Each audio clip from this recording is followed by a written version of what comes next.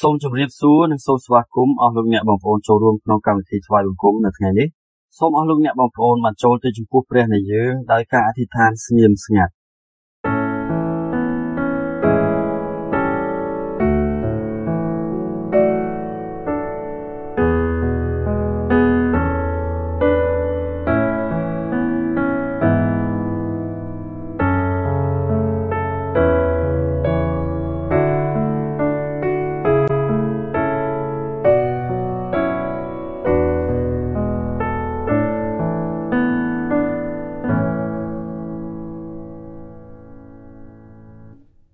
ផែនដីទាំងមូលនឹងថ្វាយបង្គំ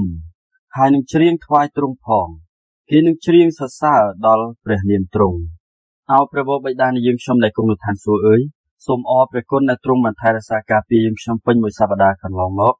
និងអនុញ្ញាតឲ្យយើងខ្ញុំបានចូលមកថ្វាយបង្គំទ្រង់នៅពេលនេះសូមទ្រង់ប្រទានប្រពរដល់កម្មវិធីថ្វាយបង្គំនៅពេលនេះឲ្យមានដំណើរការល្អគប់តាមបំណងព្រះハរតីរបស់ទ្រង់សូមប្រទានពរដល់ការសរសើរដំកើងការអធិដ្ឋាន ការស្ដាប់ព្រះបន្ទូលនិងគ្រប់លំដាប់លំដោយកម្មវិធីទាំងអស់សូមទ្រង់ប្រទានពរឲ្យយើងខ្ញុំទាំងអស់គ្នា បានថ្វាយបង្គំទ្រង់បានត្រឹមត្រូវជាការថ្វាយបង្គំដោយវិញ្ញាណនិងសេចក្តីពិតសូមឲ្យយើងខ្ញុំទាំងអស់គ្នាបានប្រកបស្និទ្ធស្នាលជាមួយនឹងទ្រង់តាមរយៈកម្មវិធីថ្វាយបង្គំនៅពេលនេះយើងខ្ញុំសូមអធិដ្ឋានក្នុងព្រះនាមព្រះយេស៊ូវគ្រីស្ទអាមែន ជាបន្តទៅទៀតសូមអស់លោកអ្នកបងប្អូនបានចូលរួមសរសើរដំណើរព្រះម្ចាស់ជាព្រះនៃយើងតាមរយៈបទចម្រៀងចំនួន3បទបទលេខ132មានចំណងជើងថា ចូលមកនោះយើងនឹងច្រៀងបទលេខ153មានចំណងជើងថាព្រះយេស៊ូវទ្រង់ផ្ដាំនិងបទលេខ299នៅពេញលោកីយ៍ទាំងមូល សូមអស់លោកអ្នកបងប្អូនបានចូលរួមសរសើរដំណើរព្រះជាមួយគ្នាច្រើន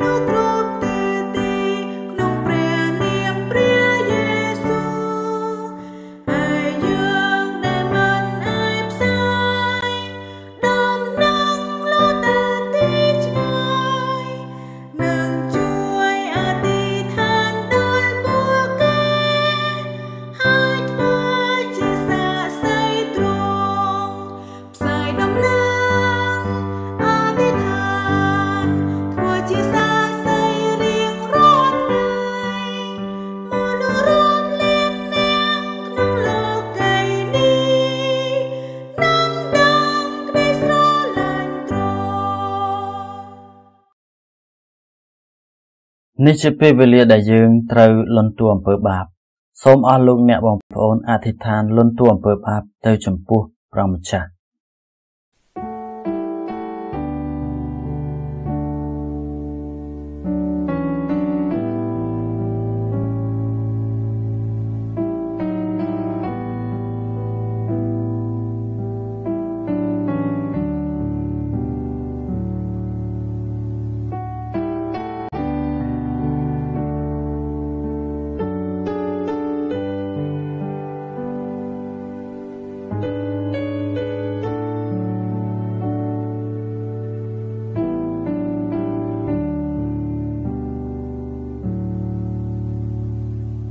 បើយើងលន់តួបាបវិញនោះទ្រង់មានព្រះハរតីស្មោះត្រង់ហើយសុចរិតប្រយោជន៍នឹងអត់ទោសបាបឲ្យយើង ហើយនឹងសម្អាតយើង ពីគ្រប់អំពើទុច្ចរិតទាំងអស់ផងអោព្រះដ៏មានគ្រប់ប្រជេស្តាអើយព្រះអង្គបានបំផ្លាញអំណាចនៃអំពើបាបនិងសេចក្តីស្លាប់ដោយព្រះអង្គមានប្រជញ្ញរស់ឡើងវិញយើងខ្ញុំសារភាពថាយើងខ្ញុំជាឆ្លើយនៃការសង្ស័យនិងការភ័យខ្លាចយើងខ្ញុំបានមើលរំលងអ្នកក្រីក្រ អ្នកស្រីក្លៀន និងអ្នកយំសោកយើងខ្ញុំប្រងើយកន្តើយនឹងអ្នកដែលត្រូវគេសង្កត់សង្កិនហើយមិនអើពើនឹងការត្រាស់ហៅឲ្យមានសន្តិភាព យើងខ្ញុំមើលងាយអ្នកទន់ខ្សោយអោព្រះដ៏ពោពេញដោយសេចក្តីមេត្តាករុណាអើយសូមអត់ទោសឲ្យយើងខ្ញុំសូមជួយយើងខ្ញុំឲ្យទុកចិត្តលើព្រះចេស្តាក្នុងការផ្លាស់ប្ដូរជីវិតរបស់យើងខ្ញុំនិងការយើងខ្ញុំជាថ្មីឡើងវិញឲ្យយើងខ្ញុំបានរីករាយនឹងជីវិតពេញបរិបូរណ៍ដែលព្រះយេស៊ូវគ្រីស្ទប្រទានមក យើងខ្ញុំអធិដ្ឋានក្នុងព្រះនាមព្រះយេស៊ូវគ្រីស្ទអាមែនយើងចូលដល់ពេលវេលាដែលត្រូវសារភាពសេចក្តីជំនឿ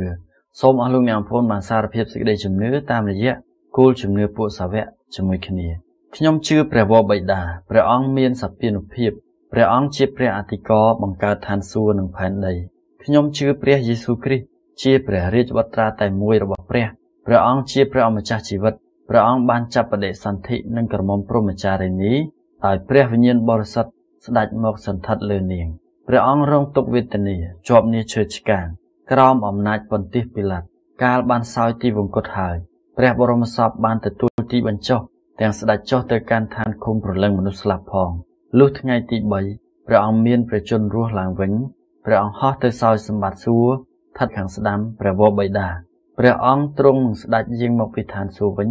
ដើម្បីជំនុំជម្រះមនុស្សលោកទោះទាំងមនុស្សរស់មនុស្សស្លាប់ក៏ព្រះអង្គជំនុំជម្រះទាំងអស់ខ្ញុំជឿព្រះវិញ្ញាណបរិសុទ្ធហើយទុកចិត្តនឹងក្រុមគ្រីស្ទបរិស័ទសកលលោកខ្ញុំជឿថាក្រុមជំនុំបរិសុទ្ធមានការតាក់ទងគ្នាហើយថាព្រះអង្គប្រោសអភ័យទោសបាបឲ្យផងខ្ញុំជឿថារូបកាយដ៏ចេះស្លាប់នេះនឹងរស់ឡើងវិញប្រកបដោយជីវិតអង្វែងកាលអាមែន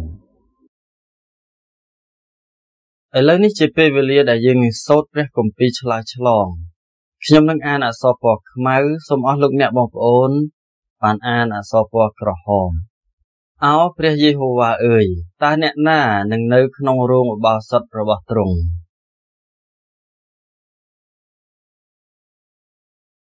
គឺជាអ្នកណាដែលដើរដោយទៀងត្រង់ហើយប្រព្រឹត្តសេចក្តីសុចរិត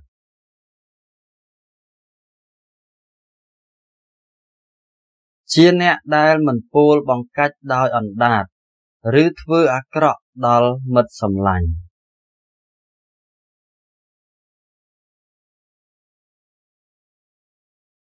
ជាអ្នកដែលមានភ្នែកមើលមនុស្សពីលដោយសេចក្តីស្អប់ខ្ពើម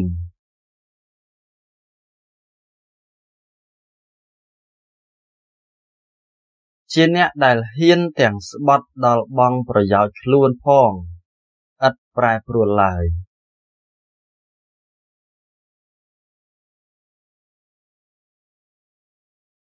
ក៏មិនទទួលសំណោកទាស់នឹងមនុស្សឥតមានទោស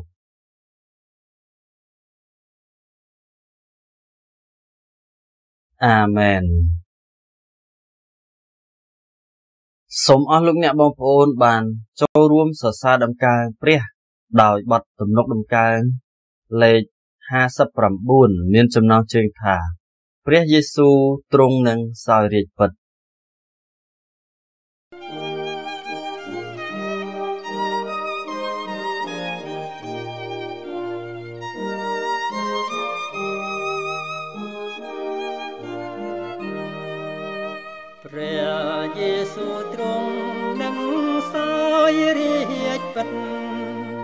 គ្រប់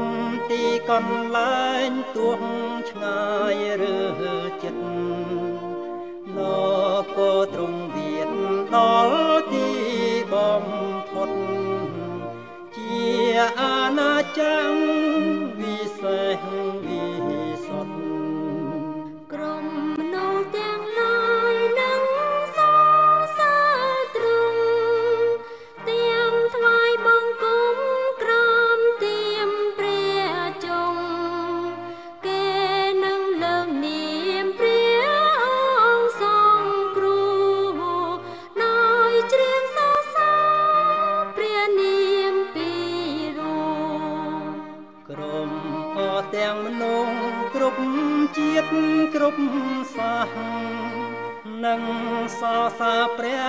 ដ៏ស្រឡាញ់ណាស់ពួកកូនក្មេងនឹងបនលើសំលេងទាំងថ្លែងព្រះនាមដោយលោ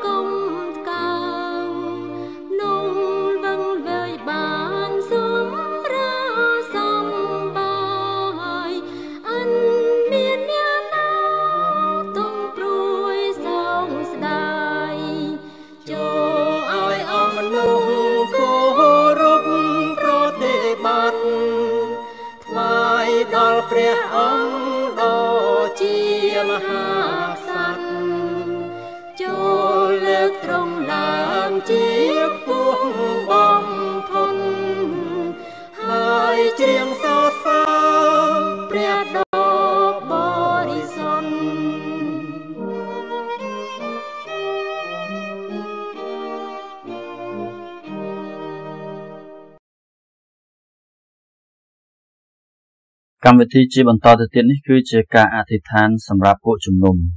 សូមអស់លោកអ្នកបងប្អូនសម្រួមចិត្តអធិដ្ឋានសម្រាប់ពួកជំនុំជាមួយខ្ញុំសូមអរព្រះគុណនិងសរសើរដំកើងរបស់បិតាជាព្រះនៃសេចក្តីស្រឡាញ់និងព្រះគុណនៅថ្ងៃអាទិត្យដ៏បរិសុទ្ធនេះយើងខ្ញុំជួបជុំគ្នាដើម្បីរំលឹកពីព្រះគុណនិងសេចក្តីស្រឡាញ់របស់ទ្រង់ហើយថ្វាយបង្គំទ្រង់ សូមឲ្យយើងខ្ញុំទាំងអស់គ្នាបានថ្វាយបង្គំទ្រង់ដល់វិញ្ញាណនិងសេចក្តីពិតហើយសូមទ្រង់ទទួលសេរីរុងរឿងតាមរយៈការថ្វាយបង្គំរបស់យើងខ្ញុំទាំងអស់គ្នា នៅពេលស្ថិតនៅចំពោះព្រះដ៏បរិសុទ្ធយើងខ្ញុំត្រូវអៀនខ្មាស់ដោយឃើញភាពស្មោកគ្រោករបស់ខ្លួនពេលខ្លះយើងខ្ញុំមិនអាចរស់នៅតាមបំណងព្រះហឫទ័យទ្រង់ប៉ុន្តែរស់នៅតាមចិត្តខ្លួនឯងវិញសូមទ្រង់អត់ទោសឲ្យយើងខ្ញុំ ដែលពោពេញដោយភាពក្លៅល្ងង និងអំនួតហើយសូមសម្អាតយើងខ្ញុំដែលពោពេញដោយអំពើបាបនេះ ដោយព្រះលោហិតរបស់ព្រះយេស៊ូវដែលបានបង្ហូរនៅលើឈើឆ្កាងសូមឲ្យយើងខ្ញុំរស់នៅដោយថ្វាយបង្គំតែព្រះអង្គចាស់ប៉ុណ្ណោះសូមឲ្យយើងខ្ញុំបោះបង់ចោលអំនួតរបស់យើងខ្ញុំហើយយើងខ្ញុំគេចចេញពីការលបួងហើយយើងខ្ញុំស្ដាប់អង្គាប់តាមព្រះបន្ទូលរបស់ទ្រង់សូមទ្រង់ដឹកនាំពួកជំនុំរបស់យើងខ្ញុំឲ្យបំពេញព្រះរាជបញ្ជាមហាបេសកកម្មរបស់ ព្រះយេស៊ូវយ៉ាងអស់ពីចិត្តអស់ពីកម្លាំងសូមឲ្យយើងខ្ញុំចេញទៅ ទាំងនាំយកដំណឹងល្អទៅកាន់គ្រួសារនិងអ្នកចិត្តខាងរបស់យើងខ្ញុំ តាមព្រះបន្ទូលរបស់ព្រះម្ចាស់ដែលមានបន្ទូលថា ចូលទៅបញ្ចុះបញ្ចូលឲ្យមានសះនៅគ្រប់ទាំងសះអោព្រះវរបិតាអើយសូមទ្រង់កំសាន្តចិត្តដល់ពួកបរិសុទ្ធរបស់ទ្រង់ដែលកំពុងស្ថិតក្នុងការឈឺចាប់និងទុក្ខព្រួយ សូមជួយឲ្យរាជទ្រង់បានដាក់គ្រប់ទាំងបញ្ហាទាំងអស់របស់ខ្លួននៅចំពោះឈើឆ្កាងសូមឲ្យយើងខ្ញុំចេះអធិដ្ឋាន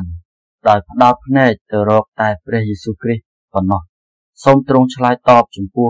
សេចក្តីអធិដ្ឋានរបស់ អ្នកបម្រើទ្រង់តាមបំណងព្រះហឫទ័យទ្រង់តាមវិធីរបស់ទ្រង់និងតាមពេលវេលារបស់ទ្រង់សូមប្រទានកម្លាំងដល់អ្នកបម្រើស្មោះត្រង់របស់ទ្រង់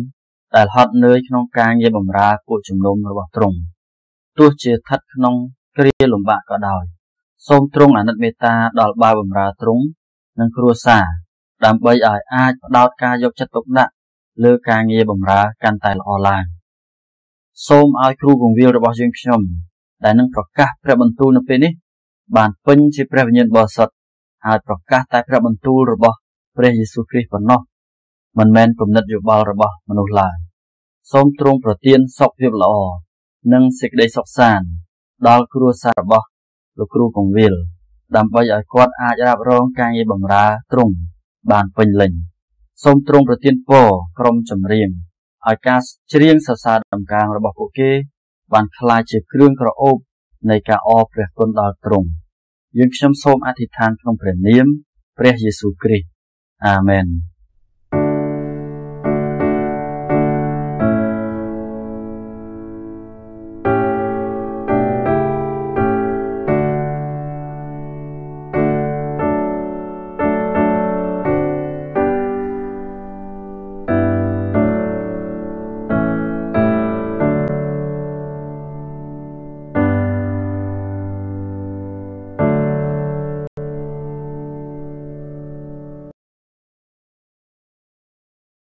យើងដល់ពេលវេលាដែលត្រូវថ្វាយដង្វាយទៅកាន់ព្រះអង្គសូមអស់លោកអ្នកបងប្អូនបានរៀបចំសម្រាប់ការថ្វាយដង្វាយនិងសូមសម្រួមចិត្តអធិដ្ឋានសម្រាប់ប្រាក់ដង្វាយជាមួយខ្ញុំអោព្រះបិតាដ៏បរិសុទ្ធអើយយើងខ្ញុំសូមអរព្រះគុណនិងសរសើរដំណការទ្រង់ដែលបានដឹកនាំយើងខ្ញុំឲ្យបានថ្វាយបង្គំព្រះអង្គម្ចាស់នៅថ្ងៃអាទិត្យដ៏បរិសុទ្ធនេះយើងខ្ញុំសូមអរព្រះគុណចំពោះព្រះគុណនិងព្រះពរដែលព្រះអង្គម្ចាស់បានប្រទានមកយើងខ្ញុំ ហេតុនោះហើយយើងខ្ញុំមិនបានចូលមកចំពោះទ្រង់ដោយដៃទទេឡើយប៉ុន្តែចូលមកដោយមានដង្វាយដែលយើងខ្ញុំបានទទួលពីទ្រង់ហើយថ្វាយទៅទ្រង់វិញសូមព្រះអង្គម្ចាស់ទទួលដង្វាយទាំងនេះដោយព្រះតីរីករាយនិងប្រើប្រាស់តាមតែបំណងព្រះហឫទ័យរបស់ទ្រង់នៅពេលយើងខ្ញុំថ្វាយដង្វាយនេះយើងខ្ញុំថ្វាយទាំងរូបកាយនិងដួងចិត្តរបស់យើងខ្ញុំសូមទ្រង់ប្រទានពរដ៏អស្ចារ្យដល់យើងខ្ញុំរាជរបស់ទ្រង់ បានថ្វាយនៅដង្វាយមួយភាគក្នុង10ដង្វាយអរព្រះគុណនិងដង្វាយស្ម័គ្រពីចិត្តរួមទាំងដង្វាយផ្សេងផ្សេងទៀតទៅតាមស្ថានភាពរបស់ពួកគេដូច្នេះសូមទ្រង់ប្រទានពរដល់គ្រួសារនិងមុខរបរការងាររបស់ប្រជារាស្ត្ររបស់ទ្រង់ឲ្យបានរីកចម្រើនឡើងពីមួយថ្ងៃទៅមួយថ្ងៃសូមទ្រង់ប្រទានពរដល់អ្នកដែលមានដួងចិត្តចង់ថ្វាយតែមិនមានធនធានសម្ភារៈសម្រាប់នឹងថ្វាយបានសូមឲ្យពួកគេបានមានធនធានសម្ភារៈ ហើយអាចនឹងថ្វាយដង្វាយបានសូមទ្រង់ប្រទានពរដល់អ្នកដែលមានសេចក្តីជំនឿខ្សោយមិនអាចថ្វាយដង្វាយបាន សូមឲ្យពួកគេមានសេចក្តីជំនឿរឹងមាំឡើងហើយអាចនឹងថ្វាយដង្វាយបានសូមឲ្យការងារផ្សាយដំណឹងល្អបានចម្រើនទៅមុខតាមរយៈដង្វាយទាំងនេះសម្រាប់សេរីរុងរឿងរបស់ទ្រង់តែមួយប៉ុណ្ណោះអោព្រះវរបិតាអើយនៅពេលយើងខ្ញុំរស់នៅលើលោកីនេះសូមកុំឲ្យយើងខ្ញុំខ្លាចជាទាសកររបស់លុយឡើយ ប៉ុន្តែសូមឲ្យយើងខ្ញុំរស់នៅដោយបម្រើព្រះម្ចាស់តែមួយប៉ុណ្ណោះ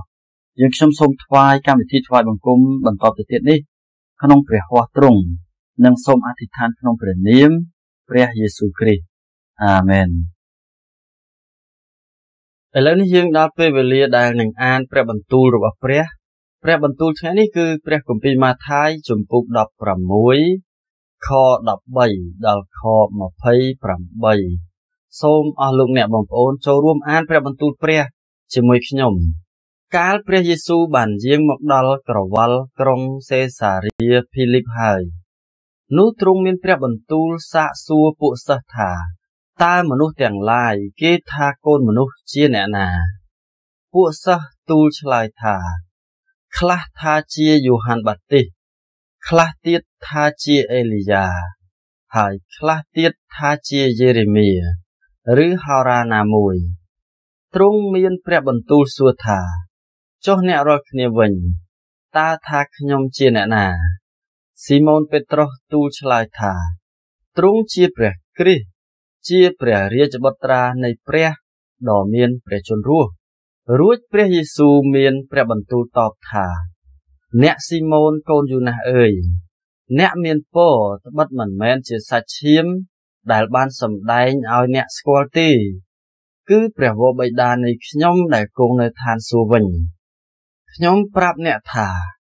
អ្នកឈ្មោះពេត្រុសខ្ញុំនឹងតាំងពួកជំនុំខ្ញុំនៅលើថ្មដានេះ ហើយទ្វារឋានឃុំប្រលឹងមនុស្សស្លាប់នឹងមិនដែលឈ្នះពួកជំនុំឡើយខ្ញុំនឹងឲ្យកូនសោនៃនគរឋានសួគ៌ដល់អ្នក បើអ្នកនឹងចងទុកអ្វីអ្វីនៅផែនដី នោះនឹងត្រូវចងទុកនៅឋានសួគ៌ដែរហើយបើអ្នកនឹងស្រាយអ្វីអ្វីនៅផែនដី នោះនឹងត្រូវស្រាយនៅឋានសួគ៌ដែររួចទ្រង់ហាមពួកសិស្សមិនឲ្យគេប្រាប់ដល់អ្នកណាថាទ្រង់ជាព្រះគ្រីស្ទឡើយ តាំងពីគ្រានោះមក ព្រះយេស៊ូវទ្រង់ចាប់ផ្ដើមប្រាប់ដល់ពួកសិស្សថាទ្រង់ត្រូវតែយាងទៅឯក្រុងយេរូសាឡឹម ហើយត្រូវរងទុកជាច្រើននៅដៃនៃពួកចាស់ទុំ ពួកសង្គ្រាចនិងពួកអាចារ្យហើយត្រូវគេធ្វើគុតផង តែក្រោយ3ថ្ងៃមកទ្រង់នឹងមានព្រះជន្មរស់ឡើងវិញនោះពេត្រុសក៏នាំទ្រង់មកចិត្តចាប់តាំងទូលចំទាស់ថាអោព្រះអង្គម្ចាស់អើយសូមទ្រង់ប្រណីអង្គទ្រង់វិញ ការនោះមិនត្រូវមកដល់ទ្រង់ឡើយ តែទ្រង់បែរទៅមានព្រះបន្ទូលនឹងគាត់ថាសាតាំងអើយចូលថយទៅក្រោយអញទៅឯងជាសេចក្តីបង្អាក់ដល់ចិត្តអញព្រោះមិនចេះគិតតាមគំនិតនៃព្រះសោះគឺគិតតាមតែគំនិតរបស់មនុស្សលោកវិញរួចទ្រង់មានព្រះបន្ទូលទៅពួកសិស្សទាំងអស់គ្នាថា បើអ្នកណាចង់មកតាមខ្ញុំនោះត្រូវឲ្យលះកាត់ចិត្តខ្លួនឯងចោលចេញហើយផ្ទុកឈើឆ្កាងខ្លួន មកតាមខ្ញុំចុះ ព្រោះអ្នកណាដែលចង់ឲ្យរួចជីវិត នោះនឹងបាត់ជីវិតទៅ តែអ្នកណាដែលនឹងបាត់ជីវិតដោយព្រោះខ្ញុំ នោះនឹងបានវិញត្បិតបើមនុស្សណានឹងបានលោកីទាំងមូល តែបាត់ប្រលឹងទៅ នោះតើមានប្រយោជន៍អ្វីដល់អ្នកនោះឬតើមនុស្សនឹងយកអ្វីទៅដូរឲ្យបានប្រលឹងខ្លួនវិញព្រោះកូនមនុស្សនឹងមកក្នុងសេរីល្អនៃព្រះវរបិតា ជាមួយនឹងពួកទេវតារបស់លោក គ្រានោះលោកនឹងសងដល់គ្រប់គ្នា តាមការដែលបានធ្វើរៀងខ្លួនខ្ញុំប្រាប់អ្នករាល់គ្នាជាប្រកាសថា ក្នុងពួកអ្នកដែលឈរនៅទីនេះ មានអ្នកខ្លះមិនត្រូវភ្លក់សេចក្តីស្លាប់ទាល់តែបានឃើញកូនមនុស្សមក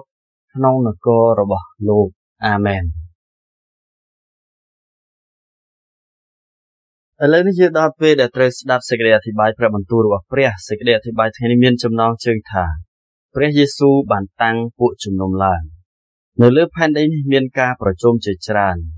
ប៉ុន្តែក្នុងចំណោមនោះមានការប្រជុំមួយដែលហៅថាពួកជំនុំគឺជាការប្រជុំពិសេសពីព្រោះនោះគឺជាការប្រជុំដែលព្រះបានបង្កើតឡើងព្រះយេស៊ូវបានជ្រើសរើសសិស្សចំនួន12នាក់ដើម្បីផ្សាយដំណឹងល្អដល់អ្នកដទៃទៀត ទ្រង់មានផែនការឲ្យដំណឹងល្អផ្សាយដល់ចុងបំផុតផែនដី តាមរយៈពួកគេ ហើយការត្រៀមរៀបចំដែលជាក់លាក់នៅក្នុងផែនការរបស់ព្រះ គឺជាពួកជំនុំនឹងឯងពលគឺព្រះទ្រង់សពព្រះハរតីនឹងសង់នគរព្រះឡើងនៅលើផែនដីនេះ ដោយសារការផ្សាយដំណឹងល្អតាមរយៈពួកជំនុំដូច្នេះហើយខ្ញុំសង្ឃឹមថា តាមរយៈព្រះបន្ទូលក្នុងបទគម្ពីរថ្ងៃនេះ យើងនឹងបានគិតឡើងវិញអំពីតម្លៃនៃពួកជំនុំដែលយើងប្រជុំគ្នារាល់សប្តាហ៍នេះលើសពីនេះទៅទៀតខ្ញុំសង្ឃឹមថា ពេលវេលានេះនឹងក្លាយជាពេលវេលាដែលយើងគិតដោយស៊ីជម្រៅថាតើទៅថ្ងៃមុខយើងនឹងធ្វើយ៉ាងណាដើម្បីសង់ពួកជំនុំនេះឲ្យបានត្រឹមត្រូវចំណុចទី1តើពួកជំនុំជាកន្លែងបែបណា ថ្ងៃមួយព្រះយេស៊ូវនិងពួកសិស្ស បានយាងទៅឯក្រុងសេសារាភីលីបហើយពេលនោះព្រះយេស៊ូវទ្រង់បានសួរទៅពួកសិស្សទ្រង់ថាតើមនុស្សទាំងឡាយគេថាខ្ញុំជាអ្នកណាពេលនោះតើពួកសិស្សបានឆ្លើយតបថាម៉េចសូមអានខ14ពួកសិស្សទូលឆ្លើយថាខ្លះថាជាយូហានបាទីសខ្លះទៀតថាជាអេលីយ៉ាហើយខ្លះទៀតថាជាយេរេមៀឬហោរ៉ាណាមួយពេលនោះព្រះយេស៊ូវទ្រង់បានសួរមួយសំណួរទៀត ខ្ញុំនឹងអានខ15ទ្រង់មានព្រះបន្ទូលសួរថាចុះឯអ្នករាល់គ្នាវិញតើថាខ្ញុំជាអ្នកណា ពេលនោះពេត្រុសបានឆ្លើយតបតើពេត្រុសឆ្លើយថាម៉េចសូមអានខ16ស៊ីម៉ូនពេត្រុសទូលឆ្លើយថាទ្រង់ជាព្រះគ្រីស្ទជាព្រះរាជបុត្រានៃព្រះដ៏មានព្រះជន្មរស់ពេលបានសន្តាប់ចម្លើយរបស់ពេត្រុសហើយនោះព្រះយេស៊ូវទ្រង់បានសរសើរគាត់ សូមអានខ17រួចព្រះយេស៊ូវមានព្រះបន្ទូលតបថា អ្នកស៊ីម៉ូនកូនយូណាសអើយអ្នកមានពរបិទមិនមែនជាសាច់ឈាមដែលបានសម្ដែងឲ្យអ្នកស្គាល់ទេ គឺជាព្រះវរបិតានៃខ្ញុំដែលគង់នៅឋានសួគ៌វិញ ប្រហែលជាការដែលព្រះយេស៊ូវទ្រង់សួរពួកសិស្សថាតើមនុស្សទាំងឡាយថាកូនមនុស្សជាអ្នកណា នោះគឺព្រះយេស៊ូវទ្រង់ចង់សន្តាប់ចម្លើយរបស់ពួកសិស្ស ផងដែរពេត្រុសក៏បានឆ្លើយតបយ៉ាងសមស្របទៅនឹងបំណងព្រះハរតីនោះ ពេលនោះព្រះយេស៊ូវមានព្រះបន្ទូលសន្យាមួយតើសេចក្តីសន្យានោះថាម៉េចទៅសូមអានខ18ខ្ញុំប្រាប់អ្នកថា អ្នកឈ្មោះពេត្រុសខ្ញុំនឹងតាំងពួកជំនុំខ្ញុំនៅលើថ្មដានេះ ហើយទ្វារឋានគុំប្រលឹងមនុស្សស្លាប់នឹងមិនដែលឈ្នះពួកជំនុំឡើយព្រះយេស៊ូវទ្រង់សន្យាថា ទ្រង់នឹងតាំងពួកជំនុំឡើងតើពួកជំនុំនោះត្រូវតាំងឡើងដោយរបៀបណា ដូចជាពេត្រុសបានធ្វើអញ្ចឹងគឺពួកជំនុំនឹងត្រូវសង់ឡើង នៅលើការសារភាពរបស់ពួកគេ ការសារភាពសេចក្តីជំនឿរបស់ខ្លួន នៅក្នុងពួកជំនុំ គឺជាការសំខាន់ណាស់តើយើងបានខ្លាចជាគ្រីស្ទបរិស័ទដោយរបៀបណា យើងខ្លាចជាគ្រីស្ទបរិស័ទនៅពេលដែលយើងសារភាពថា ខ្លួនជាមនុស្សមានបាបហើយទទួលព្រះយេស៊ូវជាព្រះអង្គសង្គ្រោះនិងជាព្រះអង្គម្ចាស់តើយើងហៅកិច្ចការនោះបែបណា គឺយើងខ្លាចជាគ្រីស្ទបរិស័ទតាមរយៈការសារភាពចុះតើពួកជំនុំជាអ្វីតើជាអាគារឬមិនមែនទេទោះបីជាមិនមានអាគារយើងក៏អាចប្រជុំគ្នានៅទីធ្លាហើយខ្លាចជាពួកជំនុំបានដែរ ពួកជំនុំគឺជាការប្រជុំរបស់មនុស្សដែលមានការសារភាពជំនឿដូចគ្នាព្រះអម្ចាស់មានព្រះបន្ទូលថាទ្រង់នឹងតាំងពួកជំនុំនៅលើការសារភាពជំនឿចុះតើហេតុអ្វីបានជាព្រះទ្រង់តាំងពួកជំនុំឡើង ដើម្បីឲ្យសេចក្តីសង្គ្រោះរបស់ព្រះ បន្តកើតមានឡើងនោះចាំបាច់ត្រូវការពួកជំនុំពីព្រោះអំណាចនៃឋានគុំប្រលឹងមនុស្សស្លាប់ប្រឆាំងទាស់នឹងការងារសង្គ្រោះ របស់ព្រះយើងអាចមើលឃើញហេតុការណ៍ដែលបង្ហាញថាអំណាចនៃឋានគុំប្រលឹងមនុស្សស្លាប់ប្រឆាំងទាស់នឹងការងារសង្គ្រោះមានបញ្ហាដ៏ធំបានកើតឡើងចំពោះពេត្រុសដែលបានទទួលការសរសើរពីព្រះយេស៊ូវបន្ទាប់ពីព្រះយេស៊ូវមានព្រះបន្ទូលសន្យាថានឹងសង់ពួកជំនុំទ្រង់ឡើងរួចហើយនោះទ្រង់មានព្រះបន្ទូលអំពីកិច្ចការដែលទ្រង់នឹងធ្វើ ដើម្បីសម្រេចសេចក្តីសង្គ្រោះសូមអានខ21តាំងពីគ្រានោះមកព្រះយេស៊ូវទ្រង់ចាប់ផ្ដើមប្រាប់ដល់ពួកសិស្សថាទ្រង់ត្រូវតែយាងទៅឯក្រុងយេរូសាឡិមហើយត្រូវរងទុក្ខជាច្រើននៅដៃនៃពួកចាស់ទុំពួកសង្គ្រាចនិងពួកអាចារ្យហើយត្រូវគេធ្វើគុតផង តែក្រោយ3ថ្ងៃមកទ្រង់នឹងមានព្រះជន្មរស់ឡើងវិញព្រះយេស៊ូវមានព្រះបន្ទូលទៅកាន់ពួកសិស្សថា ទ្រង់នឹងត្រូវរងទុក្ខហើយសុគតលើឈើឆ្កាងរួចមានព្រះជន្មរស់ឡើងវិញដើម្បីសម្រេចសេចក្តីសង្គ្រោះនៅពេលនោះតាពេត្រុសបានឆ្លើយតបយ៉ាងណាសូមអានខ22នោះពេត្រុសក៏នាំទ្រង់មកចិត្តចាប់តាំងទូលចំទាស់ថាអោព្រះអម្ចាស់អើយសូមទ្រង់ប្រណីអង្គទ្រង់វិញ ការនោះមិនត្រូវមកដល់ទ្រង់ឡើយពេត្រុសខាត់ព្រះយេស៊ូវមិនឲ្យទ្រង់ធ្វើបែបនេះទេ គាត់ថែមទាំងផ្ដល់ដំបូន្មានដល់ព្រះយេស៊ូវថែមទៀតផងពេត្រុសគិតថា បើព្រះយេស៊ូវសពព្រះហឫទ័យនឹងសង្គ្រោះមនុស្សមានបាបនោះទ្រង់មានព្រះចេស្តាអាចនឹងសង្គ្រោះមនុស្សមានបាបប៉ុន្មានក៏បាន តាមតែទ្រង់សពព្រះហឫទ័យប៉ុន្តែសូមកុំមានព្រះបន្ទូលថាទ្រង់ត្រូវសុគតលើជើឆ្កាងនោះឡើយ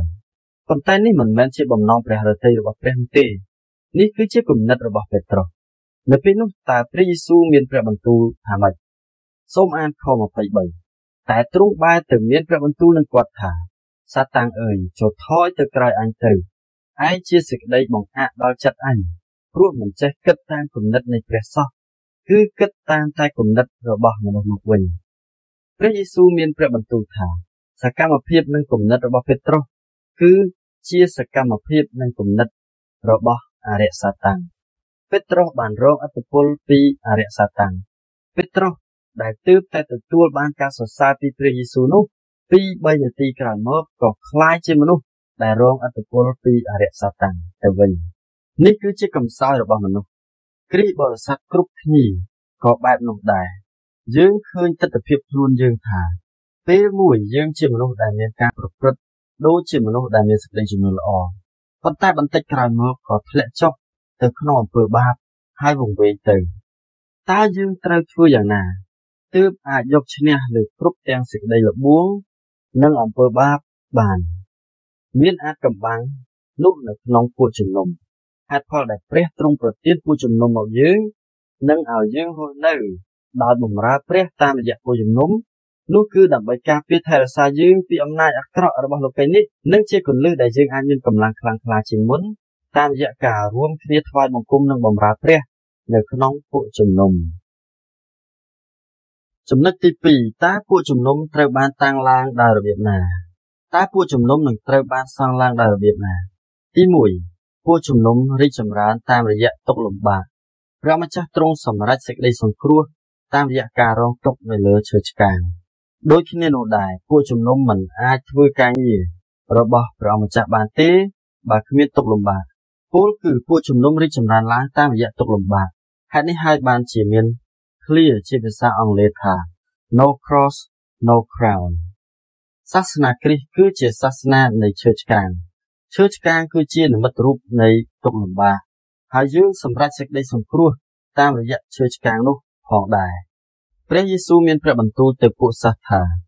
រួចទ្រង់មានព្រះបន្ទូលទៅពួកសិស្សទាំងអស់គ្នាថាបើអ្នកណាចង់មកតាមខ្ញុំ នោះត្រូវឲ្យលះកាត់ចិត្តខ្លួនឯងចោលចេញហើយផ្ទុកឈើឆ្កាងខ្លួនមកតាមខ្ញុំចុះយើងត្រូវតែចងចាំយ៉ាងច្បាស់នៅសេចក្តីពិតថានៅពេលយើងសម្រេចចិត្តជឿព្រះយេស៊ូវនោះមានឈើឆ្កាងដែលយើងត្រូវតែលីប៉ុន្តែទោះបីជាការលីឈើឆ្កាងជាកិច្ចការលំបាកក៏ពិតមែនប៉ុន្តែតាមរយៈនោះ យើងនឹងបានរីកចម្រើនឡើងខាងព្រលឹងវិញ្ញាណហើយពួកជំនុំក៏បានរីកចម្រើនខាងព្រលឹងវិញ្ញាណផងដែរ ខ្ញុំសង្ឃឹមថាលោកអ្នកបងប្អូននឹងមានបទពិសោធន៍អំពីព្រះគុណដែលនាំឲ្យលូតលាស់សេចក្តីជំនឿដោយពឹងផ្អែកលើព្រះអម្ចាស់កាន់តែខ្លាំងឡើង តាមរយៈទុកលំបាកទី2ព្រះអម្ចាស់មានព្រះបន្ទូលថាទ្រង់នឹងប្រទានកូនសោនៃនគរឋានសួគ៌ដល់ពួកជំនុំនៅពេលពេត្រុសធ្វើការសារភាពជំនឿនោះព្រះយេស៊ូវបង្ហាញពេត្រុសនៅឯកសិទ្ធដ៏អស្ចារ្យដែលត្រូវបានប្រទានមកគ្រីស្ទបរិស័ទតើនោះជាអ្វីទៅ សូមមើលខ19ខ្ញុំនឹងឲ្យកូនសោនៃនគរឋានសួគ៌ដល់អ្នកបើអ្នកនឹងចងទុកអ្វីអ្វីនៅផែនដីនោះនឹងត្រូវចងទុកនៅលើឋានសួគ៌ដែរហើយបើអ្នកនឹងស្រាយអ្វីអ្វីនៅផែនដីនោះនឹងត្រូវស្រាយនៅឋានសួគ៌ដែរទ្រង់មានព្រះបន្ទូលថាខ្ញុំនឹងប្រទានកូនសោឋានសួគ៌តើកូនសោឋានសួគ៌ជាអ្វីទៅគឺទ្រង់នឹងប្រទានពិធីឲ្យគេអាចចូលឋានសួគ៌បាន ពលគឺទ្រង់ឲ្យពួកសិស្សបានដឹងពីវិធីដែលអាចទទួលបានសេចក្តីសង្គ្រោះហើយទ្រង់ប្រគល់បេសកកម្មក្នុងការប្រកាសសេចក្តីនោះដល់មនុស្សទូទាំងផែនដីតើអ្វីទៅជាកូនសោឋានសួគ៌គឺជាដំណឹងល្អនឹងឯងតាមរយៈដំណឹងល្អមនុស្សមានបាបជឿព្រះយេស៊ូវហើយคล้ายជាប្រជារាស្ត្ររបស់ព្រះដំណឹងល្អដ៏អស្ចារ្យនេះមាននៅក្នុងពួកជំនុំរបស់ ព្រះអម្ចាស់ទោះបីជាមនុស្សម្នាក់មានអំណាចខ្លាំងប៉ុណ្ណាក៏ដោយមានលុយច្រើនប៉ុណ្ណាក៏ដោយក៏មិនអាចចូលឋានសួគ៌បានដែរ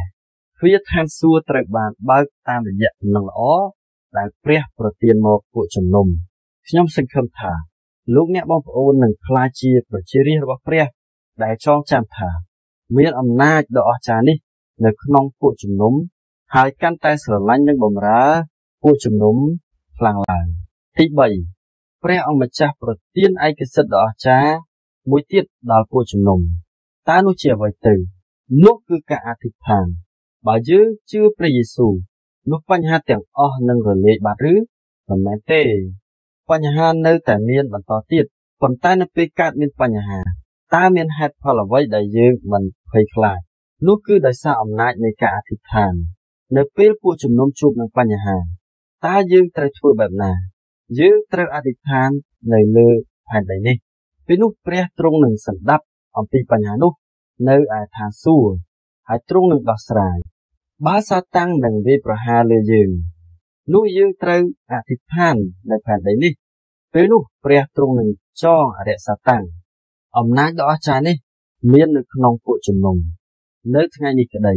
ព្រះទ្រង់នៅតែកំពុងសម្រេចផែនការរបស់ទ្រង់ តាមរយៈពួកជំនុំដែលយើងបម្រើ និងតាមរយៈយើងដែលធ្វើការសារភាពជំនឿដូចគ្នា បងប្អូនប្រុសស្រីជាទីស្រឡាញ់អើយ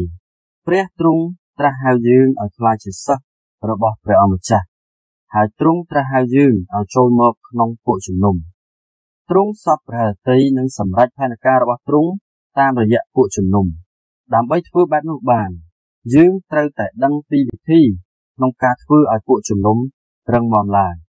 ពួកជំនុំមិនមែនតាំងឡើងដោយសារកម្លាំងរបស់មនុស្សទេពួកជំនុំត្រូវបានតាំងឡើងយ៉ាងរឹងមាំតាមរយៈមនុស្សរបស់ព្រះដែលលះបង់សម្រាប់ព្រះអង្គម្ចាស់ហើយយើងត្រូវតែប្រើអំណាចនិងបច្ចេស្តាដែលត្រូវបានប្រទានមកយើងនោះឲ្យបានត្រឹមត្រូវនៅពេលយើងប្រើអំណាចចេស្តានោះបានត្រឹមត្រូវនោះពួកជំនុំនឹងក្លាយជាឧបករណ៍របស់ព្រះដែលបង្ហាញសេរីរុងរឿងរបស់ទ្រង់ នៅលើពិភពលោកនេះសូមសម្រុំចិត្តអធិដ្ឋានជាមួយខ្ញុំអោប្រពោបិតានៃយើងខ្ញុំដែលគង់នៅឋានសួគ៌អើយសូមអរព្រះគុណសម្រាប់ព្រះបន្ទូលថ្ងៃនេះព្រះម្ចាស់តាំងពួកជំនុំឡើងដើម្បីធ្វើការងារសង្គ្រោះរបស់ព្រះម្ចាស់នៅលើផែនដីនេះព្រះម្ចាស់ជ្រើសរើសយើងខ្ញុំត្រាស់ហៅយើងខ្ញុំឲ្យខ្លាចទៅជាពួកជំនុំសូមឲ្យយើងខ្ញុំបាននឹកចាំពីកិច្ចការដ៏អស្ចារ្យដែលព្រះម្ចាស់បានប្រទានមកយើងខ្ញុំហើយយើងខ្ញុំបានលះបង់បម្រើព្រះអង្គនៅក្នុងពួកជំនុំ នាំយកដំណឹងល្អទៅដល់មនុស្សជាច្រើនឲ្យបានទទួលសេចក្តីសង្គ្រោះហើយចូលមកក្នុងពួកជំនុំរបស់ទ្រង់ចូលឋានសួគ៌ផងដែរអរព្រះគុណយើងខ្ញុំសូមក្នុងព្រះនាមព្រះម្ចាស់ព្រះយេស៊ូវគ្រីស្ទអាមែន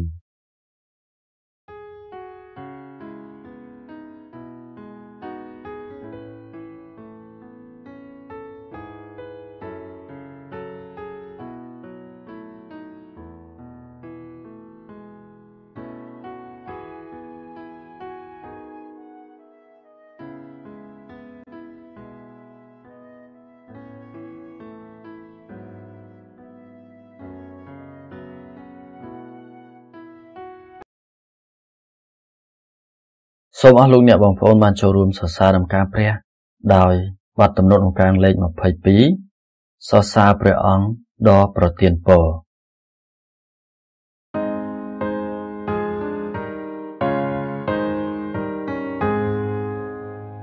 សូសើ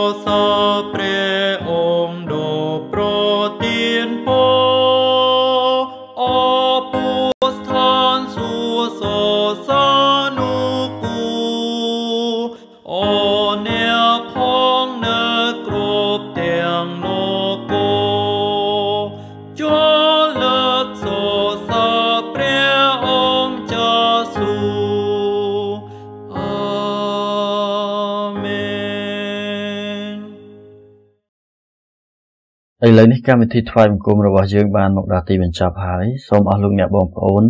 សង្រួមចិត្តអធិដ្ឋានជាមួយខ្ញុំសូមឲ្យលោកអ្នកបងប្អូនទាំងអស់គ្នា បានប្រកបដោយព្រះគុណនៃព្រះអង្គម្ចាស់យេស៊ូវគ្រីស្ទសេចក្តីស្រឡាញ់នៃព្រះបបិតានិងការរួបរวมគ្នានឹងព្រះវិញ្ញាណបរិសុទ្ធចាប់ពីឥឡូវនេះ ដល់អស់កាលជានិច្ចអាមែន